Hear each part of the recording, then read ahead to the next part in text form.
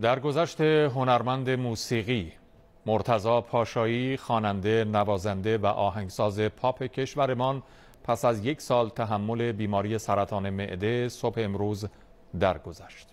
مراسم تشییع پیکر این هنرمند یک شنبه 25 آبان از مقابل تالار وحدت برگزار می شود.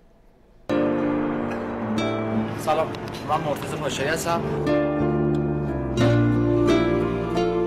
جای منم داری زج می‌کشی یکی عاشقته که تو عاشقی. تو به جای منم داری زج می‌کشی یکی عاشقته که تو عاشقشی. این صدای خوانندی است که صبح امروز آرام و بی صدا از میان ما رفت. نگران منی که نگیر دلم.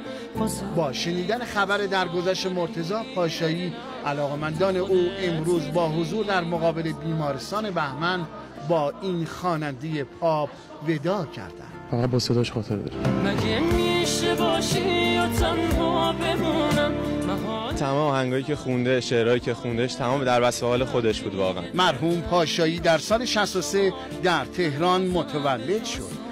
از همان دوران کودکی به موسیقی علاقه وافری داشت. خدا رو شکر همه چی در نهایت من فکر می‌کنم که خوب بود و خدا رو شکر راضیم مگه جاست تو کی نخستین آلبوم مرتزا پاشایی در سال 91 منتشر شد. از این هنرمند نامی آثار زیادی به جا مانده است که تیتراژ پایانی برنامه ماحصل شبکه سه یکی از آنهاست. یه شب از همه چی به خدا گله کرد.